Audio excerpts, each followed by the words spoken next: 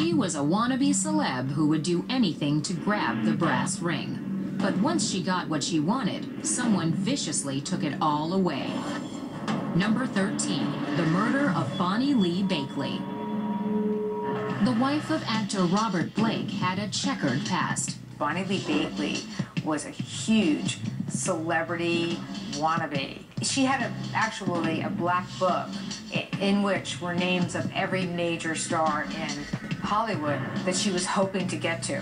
Then more information came out that she had scammed other men, that she had left a trail of tears behind her in her life. She led a very complicated life, selling pornography through the mail and breaking a lot of hearts and, and scamming people. Bonnie met Blake in 1999 at a birthday party. By the fall, she was pregnant with his child rather stormy relationship that was well known and well documented uh, through their friends and, and through family. Despite their rocky affair, Bakley married the former Baretta star in November 2000, three months after the birth of their daughter. They didn't have a normal marriage. They didn't live in the same house. She was out by the pool in the pool house.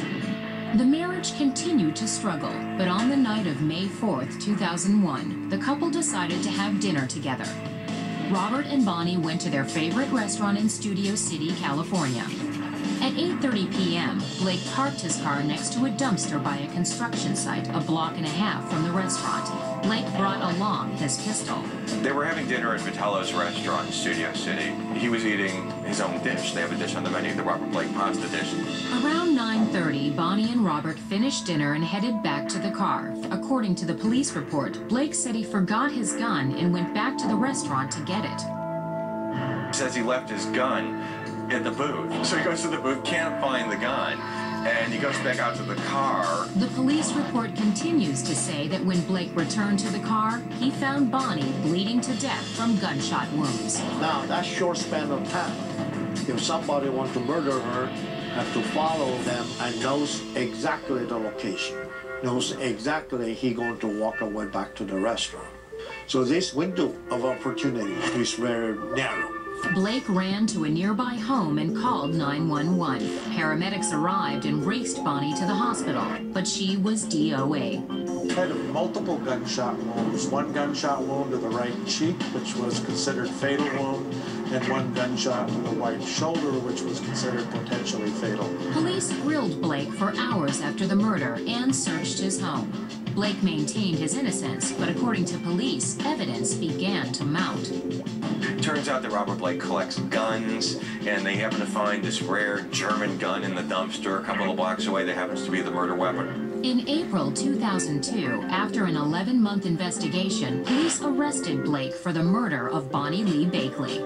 When Bonnie Lee Bakley was murdered, uh, the initial assumption was it has to be Robert Blake. It has to be her own husband, especially when information came out that he really didn't like her. The trial lasted three months. Bonnie's shady lifestyle was brought into question. And there's other people that she's finessed and finagled money out of, her, have reason to want to come after her. And so the specter of reasonable doubt is so high in that case. Bonnie Lee Bakley is, is a perfect example where the focus wasn't really on what occurred, but who she was, what she was like, and what her private and personal life was. On March 16, 2003, Robert Blake was found not guilty.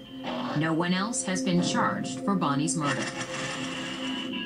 I thought uh, that was the perfect example of a highly professional lawyer doing an extraordinary job of creating reasonable doubt. In November 2005, in a civil trial brought by Bakley's children, the jury found that Blake had intentionally caused Bonnie's death. Her children were awarded $30 million in damages. Some people said in Hollywood, if you kill your wife, you don't have to go to prison, you just have to pay a fine. Up next, hundreds of witnesses, several shots fired, an iconic rapper dead, and not a single arrest. Who wants to be the snitch?